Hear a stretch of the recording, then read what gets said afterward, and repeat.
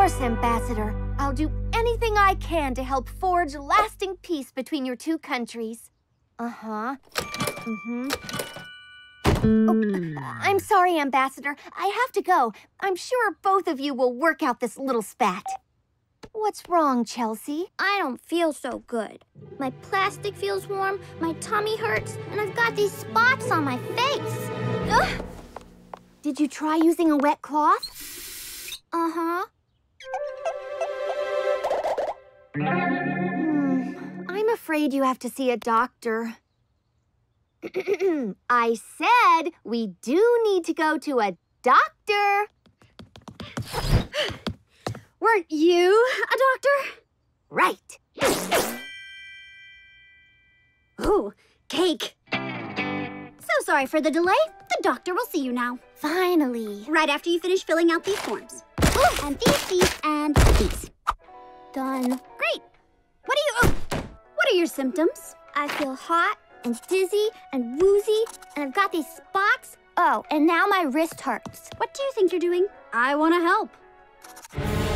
Helping is my thing. Skipper never wants to do anything.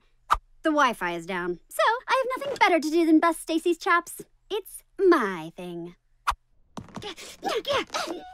Let's see if we can figure out what's wrong with her. Hop up on the table, Chelsea. Table? I got it. The first thing we should do is check your vitals. Hmm. I don't hear a thing. Perfect.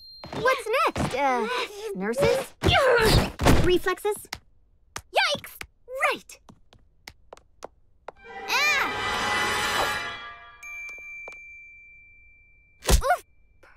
Reflexes.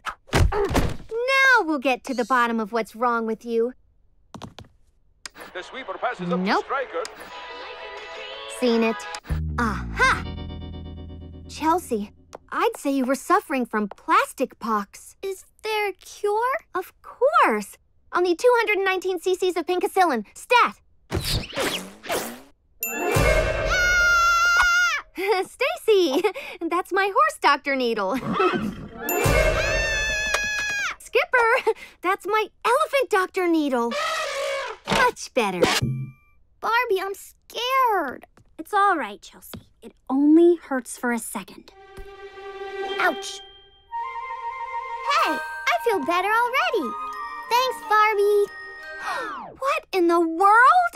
Oh no, it can't be. We've got. I'll go get the penicillin. It only hurts for a second.